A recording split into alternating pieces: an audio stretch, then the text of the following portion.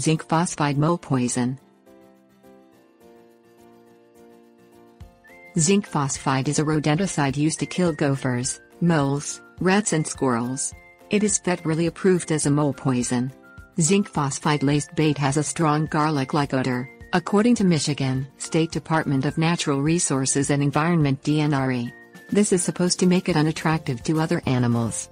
Unfortunately, rodenticides like zinc phosphide don't just poison moles. They kill all kinds of wildlife, including bald eagles, bobcats, deer, foxes, freshwater fish, hawks, geese and owls, reports the Environmental Protection Agency EPA. Zinc phosphide also poses risks to children and pets. How zinc phosphide works Zinc phosphide turns into a gas when it reaches fluid in the stomach. This gas destroys cells throughout the bloodstream and body and results in organ and tissue damage. It takes from 15 minutes to 4 hours for the mole to die, according to DNRE. The death is a painful one and involves abdominal pain, convulsions, nausea, vomiting and paralysis. Zinc phosphide and bait shyness.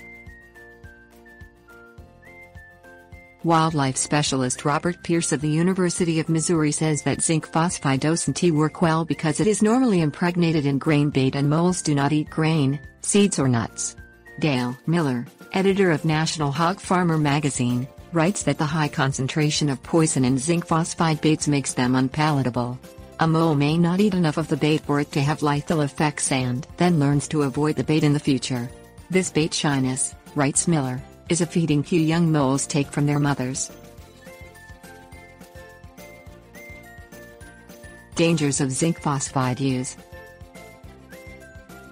Zinc phosphide can kill dogs and cats through secondary exposure and birds are especially affected by the mole poison, according to DNRE. It takes several months for the bait to be degraded by weather or for the mole to degrade. Dry bait may stay toxic indefinitely.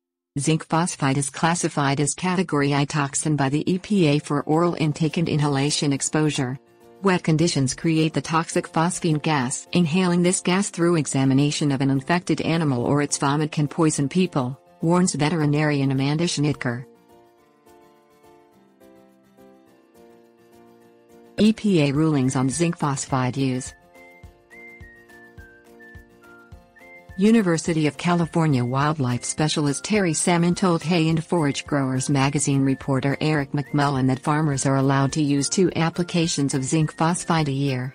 The farmer must wear protective gear, including a mask and respirator, when applying the mole poison. In addition, zinc phosphide cannot be used in areas where grain-eating birds feed and waterfowl must be frightened away for 24 hours after treatment. In 1998, the EPA ruled that manufacturers of zinc phosphide rodenticides must use indicator dyes and bittering agents in their products to minimize risk to children and pets. The mole poison must not be sold as loose pellets but in preloaded bait stations. The Nebraska Department of Agriculture adds that only one pound or less of zinc phosphide mole poison may be sold to homeowners. Farmers may purchase 8 pounds or more. Professional pest exterminators may buy 16 pounds units of the mole poison. Protective advances National Wildlife Research Center NWRC scientists have found that adding anthraquinone repellent to rodenticides made of zinc phosphide can help protect wildfowl. Anthraquinone is a naturally occurring substance that absorbs near ultraviolet light. This light spectrum is visible to many birds and also acts as a laxative. The NWRC scientists hope that the compound can teach wild birds to avoid the rodenticide.